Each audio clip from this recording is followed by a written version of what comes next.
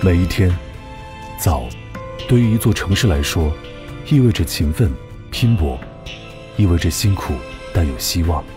可是有一个地方，你来的越早，则意味着越痛苦。这儿，就是医院。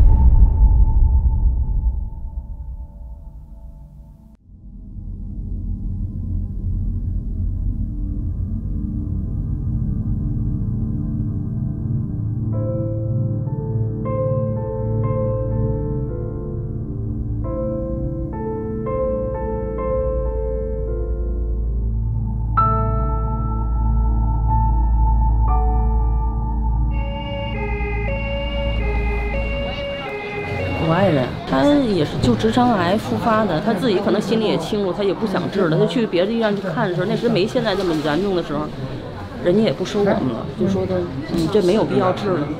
他觉得说你别把那个钱都花在我身上了，就是俩孩子嘛，所以他就不想治。他这事儿孩子们心里也难受。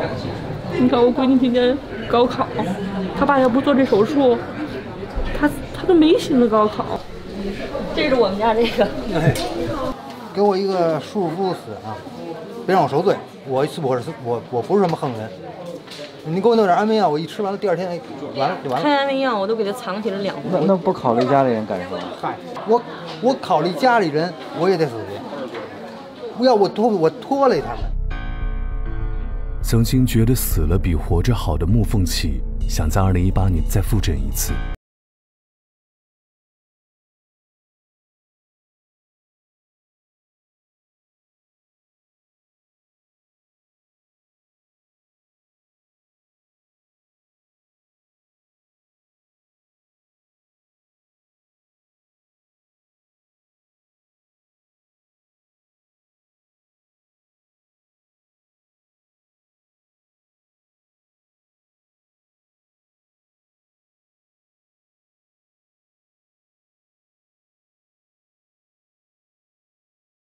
手术，工作满满。人一有了病，患者和医生必须选择相互信任。也许只有几分钟，你也得必须做出这样的选择。今天对于首钢医院的院长顾进来说，他也在等，他在等自己，等自己做那个不太容易的决定。现在就看能不能还有个印儿，好像那地儿。对，再看，如果能切的话，把这块儿给它切了，你就配点血得，多配点血，因为它创面大。这个决定就是要在三天后给两个年轻女孩做手术。这两个女孩，一个二十四岁，一个二十二岁，她们得的都是直肠癌合并多发结肠息肉，是个家族性恶疾。一个月前，她们分别被外地医院拒绝治疗，让她们放弃回家。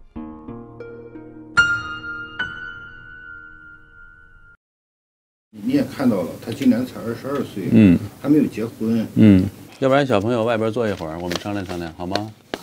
这个女孩就是二十二岁的被拍摄者之一孙玉，跟着他来的是他的姨父。他等他没法往下说，让他出去的时候，就他就觉得太严重了，所以我干脆让他先出去吧，这样呢，让他慢慢的去接受这件事儿。在这种长期的这样控辩不好的情况下，还要要改回来的。肯定是先保命后保忙。对，同样是二十二岁，几年前，顾静在微博里还写过这样一个女孩，情况是那么的相似。不过，这个故事，顾静一般不愿意再提起。二十二岁的女孩，她就是一个直肠癌，跟肛门很近。当时做手术呢，给她保了肛，她一年她就复发了。再复发的话呢，卵巢也受转移了，所以再做手术就得卵巢也切掉，肛门也要切掉。作为一个二十二岁的女孩子，一切都刚刚开始。如果说明知道就是治不好，他还要受很多罪，其实我不建议你再再治了，建议你回家吧，这个太残酷了。后来这个孩子就决定说不做了，送了一个小熊，他就拿着那个小熊后来走了。明知道他治不好了，你还给不给他治？这个实际上我们经常遇到的问题。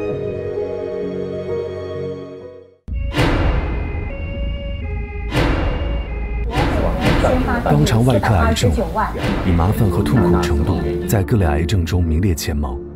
而顾静就是给病人带来一丝希望的那个人。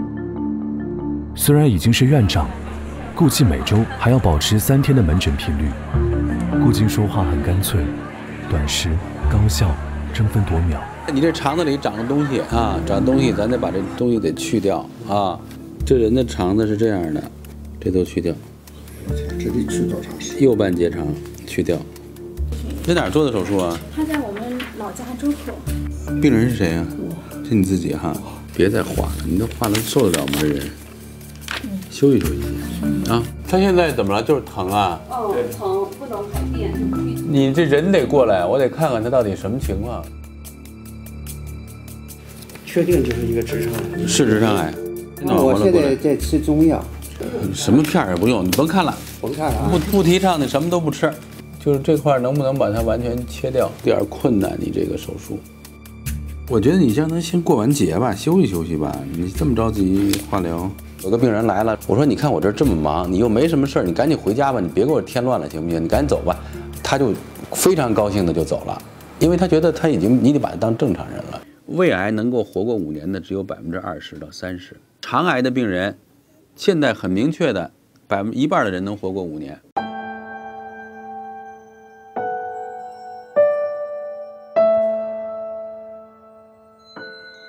害怕不害怕？有点害怕，有点是吧？你是多大了？二十二再见孙玉是在门诊三天以后，哦，他很幸运排到了床位，也很巧，和二十四岁的山西姑娘魏晨就一墙之隔。两个家庭，两个女孩的命运，哎，因为直肠癌紧紧联系在了一起。他现在啊，就是镜子做不过去，过不去啊上面从 CT 上看，上面也有问题。也有问题。他就会牵扯到保不钢，如果不保肛，可能就会切干净是第一位的啊，这个呃，对，保肛呢是第二位的，是不是有点害害怕不害怕？有点害怕哈，嗯，行，我们给你 握握手，握握手，嗯，握手，别害怕啊。医学本身是有温度的，它不是一个冷冰冰的。如果你冷冰冰的就关心他开刀，就关心他吃药，就关心他的病，因为我们都有孩子，我们都知道孩子都喜欢都爱自己的孩子，但是你必须做出选择。病房住着两个女孩，一个二十二岁，另一个二十四岁。我国外科泰斗裘法祖老先生说过，如果我们根治了肿瘤，你就坐上了皇位；如果还保肛了，你就戴上了一顶皇冠。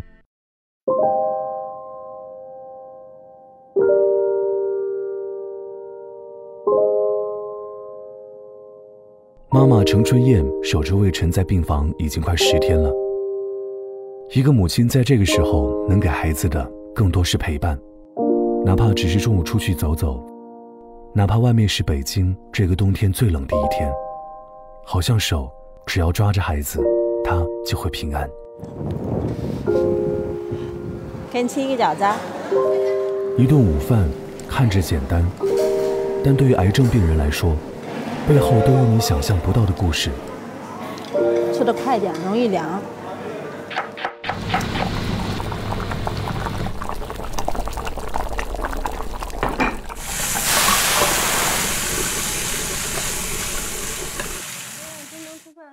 来吧，这么长时间没在一块儿吃饭了，这回姑娘儿子都回来了。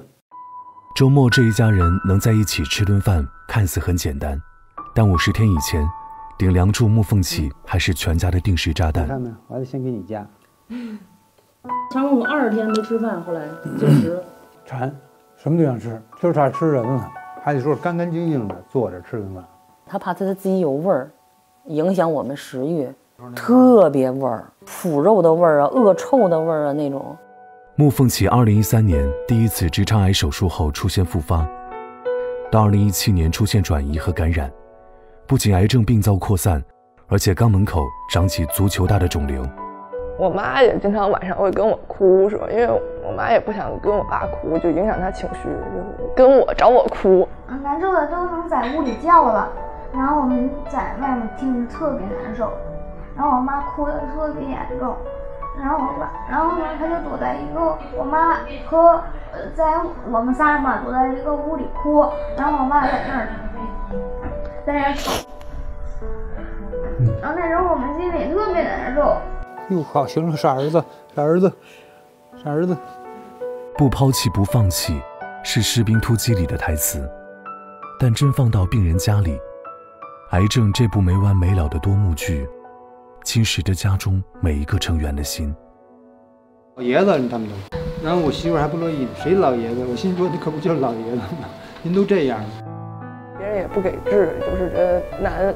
平常不说的时候，不会觉得有什么，但是现在一想起来，就是感觉上挺不容易的。而他过生日那天，我去的手术室呢。你看这个太有意义了，给你爸一刀。我当时跟顾院长说：“我说您这是我最后一站了。我说如果说您要说不行的话，我说我就实在是切除的太多了。那个盘子得有这么大，因为他是两个手托着嘛，这个东西得有这么大，而且还鼓出来了。我那时候九十四斤，再抛一七斤呢，我还剩八十多斤了。人好多了，家就像样了，日子才能继续。”穆凤起的女儿，她托我们给顾大夫带一件礼物，一封信。小世界的天塌了，转院拒治，周周转转三五年，我也第一次体验到了一丝绝望的气味。今年高考了，如果可以，如果可以，我也希望自己当个医生，怀揣着与您共同的信仰，真诚的感谢您的善举。今天收到了病人女儿的来信，她父亲是我做的手术。他也做了一个决定，报考医学院。当了这么多年的医生，第一次影响到病人的孩子，愿意学医，感到欣慰。祝他一切顺利。莫凤起一家的幸运会拷贝复制到魏晨和孙玉身上吗？互相给对方鼓励。但是你们俩是隔壁房间是吗？对，有缘就是有缘千缘搞得我有点小紧张呢。我想看你美美的自拍照。对。她美吗？美啊，特别漂亮。我都很好看。上天就看我们太好看了。手比我手白呀。我我的手比你肉是真的。具体情况具体分析，打开肚子才知道。真的吗？对。吓，太吓人了。看造化。我们要相信古大夫。嗯，相信古大夫。我们都会好起来的，我们要一起加油。嗯、加油！两个年轻人可能还没有意识到家长再三强调的保肛的意义。此外，对于其中的魏晨来说，还有他不知道的事，我家是转移的那个高二上的，你也不知道我刚告他。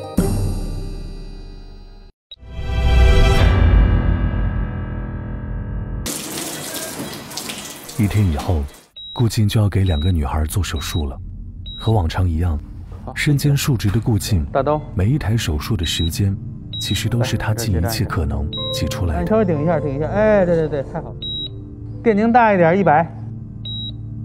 你人让我这边侧一点，好不好？嗯，今天挺累的，今天等于连续做了六个吧，差不多是。嗯，对。这一高峰期一天最记录是多少个？最多十一个。顾静走路很快，他希望别人能跟他走的一样快。就这个，哎，这收费这还是不行啊！收费这个还在这排队呢。哎，你好，你好，你好，哎，大家有心气儿才能把这学术做好。除了手术门诊，还有很多行政工作，各种学术会议，组织科研。专家下沉，学科下沉，这是咱的特点啊。那这个呢，multidisciplinary group 就是多学科的团队。顾静不仅对别人要求高，他对自己要求也高。比如每周即便再忙，他都保证都要打两个小时篮球。你没有好的身体上手术，手术时间长了是，而且手术的压力其实不光是站着的问题，它高度集中，这种还是比较难。我们好，撤，四比六。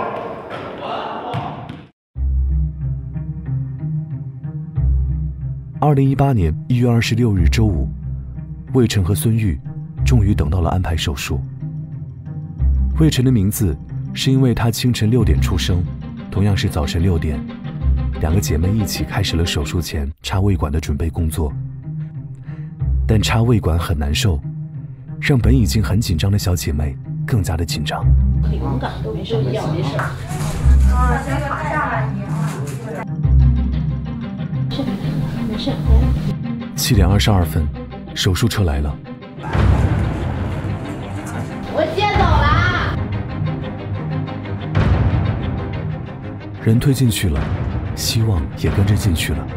魏晨开玩笑说的“打开肚子才能吃到”，这真的全靠顾静和众多医生了。从早晨七点半开始，两个家庭都要数着秒过了。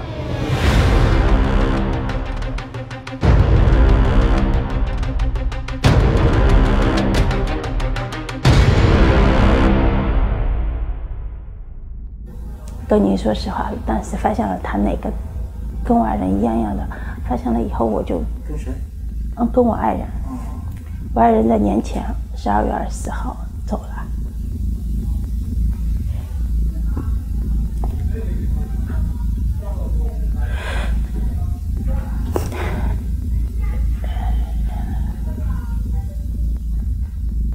发现了以后，我真的就觉得好像天快春燕一人承受着丈夫离世的消息，到现在还瞒着家里老人。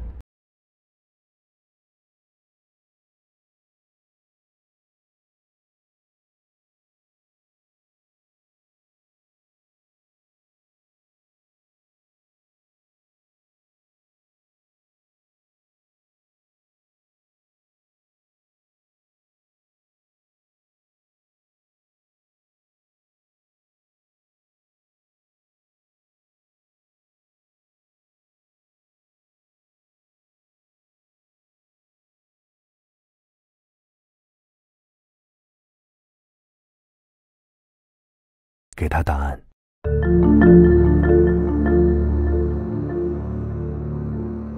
别着急，别着急，别着急，不着急，不着急，不着急。我把回肠这儿给它断了，这样就可以掀起来。接着，接着，接着，不用去那么狠，把这这段去掉。无声的手术室伸缩门，每一个微小的震动，都会让门外家属异常紧张。家属既万分期待，但又极度害怕下一个叫到的就是自己。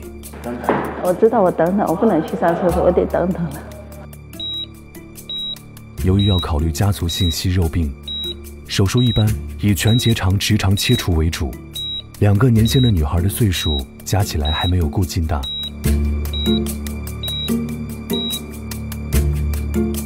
当顾静打开魏晨的腹腔，肠道壁上的上百个息肉比想象中还要严重，能不能保留肛门，还要看癌变的具体位置。手术已经过半，顾大夫带来的会是好消息吗？魏晨，哎，上上上。来你看看，哦，你看看这肠子，呃，对，这个是那个最那个大的，哦，啊，这个是乙状乙状结肠的那个，这是癌癌变的那个，哦，癌变的是这个，你看这都是息肉，看见没有？哦，这么这都要变，将来都会变。现在肛门呢，给它留了这么一点儿，给它接好了，已经吻合好了。哦，那行行行，手术还挺顺利的啊。啊，那我要不先过去看看，你们先弄这。没事，我刚分。你分一分，你分没事儿。粘连粘的很厉害，他阑尾。两个好朋友，两个好病友，一家手术的尾声，意味着另外一台手术的开始。时间可以排前后，好运可以接力吗？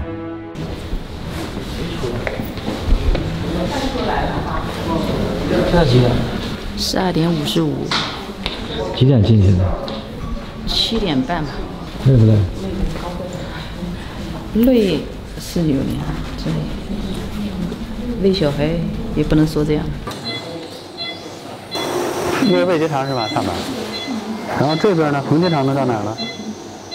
我先从这儿吧，先从这儿吧。这不是这儿有一个瘤子好像。哦，这九块钱，来九块钱。下边远端还有没有？还有，我们还有息肉。我要得打开，因为我必须得看看那个息肉在不在。哦，这儿还有一个呢。那不行，就把结肠的都得切了。它是一个家族性的息肉病，这种病人呢，他在三十岁是一定会变成癌的。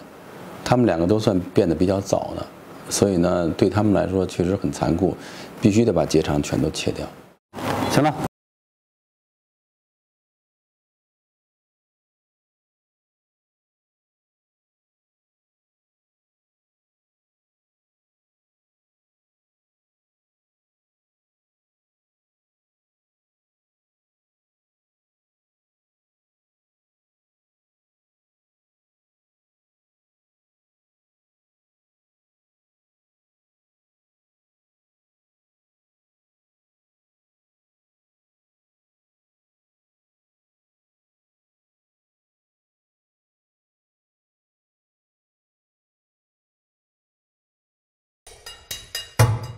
医院挂号都是个人的人名，但是每个名字被叫到，后面牵扯的都是一个家庭的心，都真实的要命。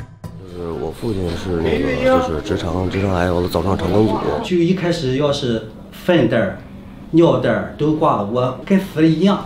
我爸当时得这个病了，当时我是在外地旅游，声泪俱下，简直就是声泪俱下都开始开始祈祷。我也不知道有没有用，但是我觉得总比什么都不干强。我母亲她就是那个就是癌症转移淋巴了，家里有这个病人，我就体会到就是，就怎么说呢？保证呢，让你啊，呃，多少还能控制。也不能说是全全让你。这是五角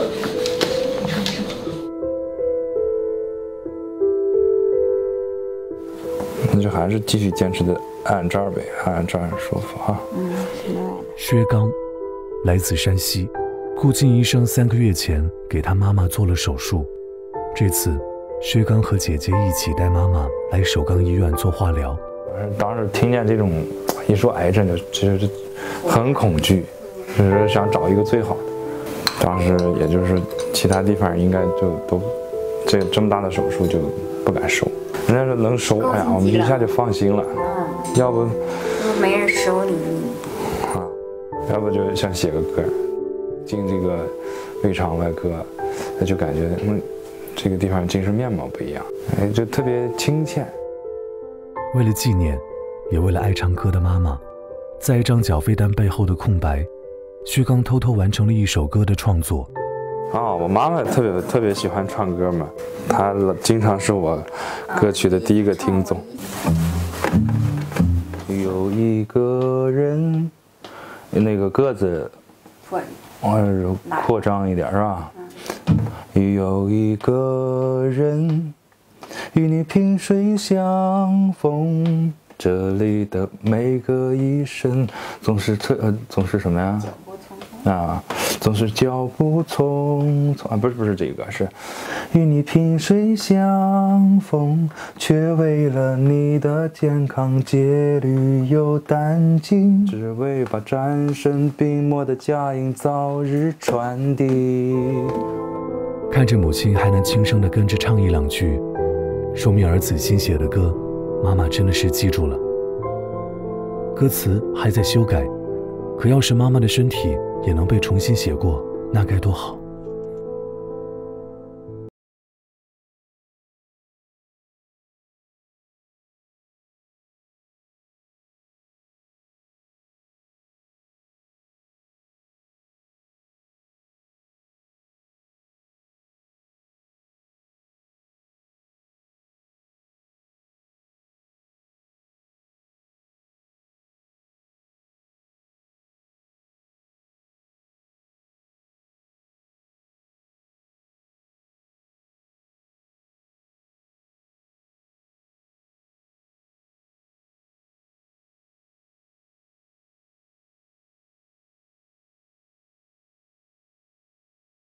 天精神挺好的。我昨天大概是十一点多钟以后睡的，睡到早上七点。没事，坚持坚持就好了。好，你也坚持哈。病痛和青春永远是敌人，毕竟青春可以遮掩肉身的脆弱。顾静继续早晨七点到了医院，开始第一台手术。我开始学医，父母都支持，只是老爸说你不要干泌尿，因为老爸是泌尿专业，就是怕我和他一个单位很尴尬。我很崇拜我老爸，他一生为人正直，他是我的灯塔。二十年过去了，我经过努力，成了中华医协会肿瘤学会的主委。但那一刻，我的父亲已经不在了。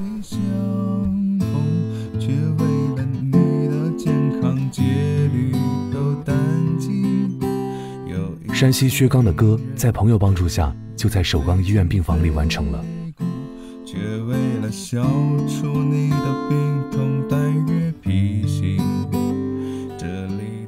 穆凤起的女儿高考了，她也做了一个决定，报考医学院。总算这担当过去了，那慢慢就好起来了。嗯。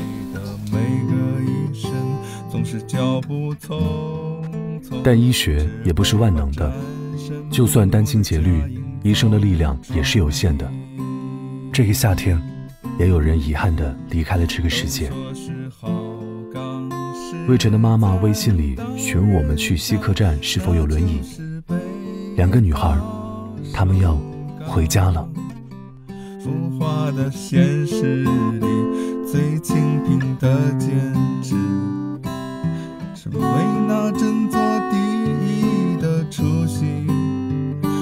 说是好钢是在。